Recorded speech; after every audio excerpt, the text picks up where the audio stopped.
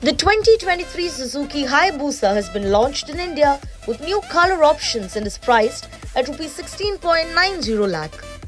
New color options include metallic matte sword silver and a candy burnt gold.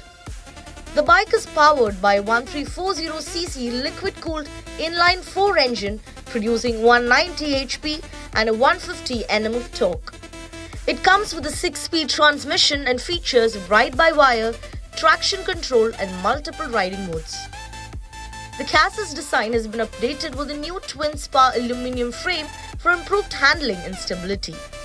The suspension system has been updated with a new KYB fork and shock absorber. Other features include a full color TFT display, LED lighting, and a new exhaust system.